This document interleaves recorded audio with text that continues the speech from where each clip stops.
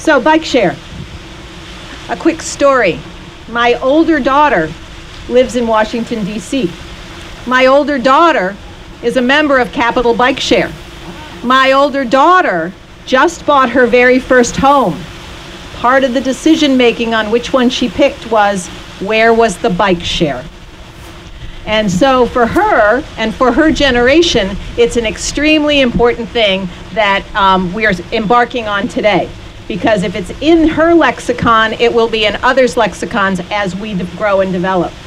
The other thing that I really wanted to point out, and I think is going to be really important, Mr. County Executive, is that um, when we passed the Downtown Columbia Plan, we actually had to make some changes to our adequate public facilities ordinance.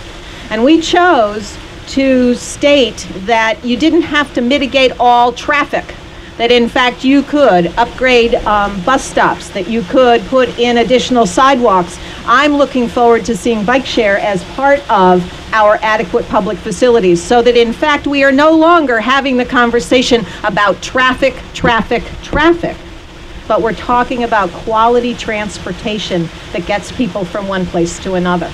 So, congratulations, Chris. Good work. And um, I know that the college students are looking forward to it. And truth be known, given that I walk all over the area, I'm looking forward to it. So, thank you. Thank you, Mary Kay.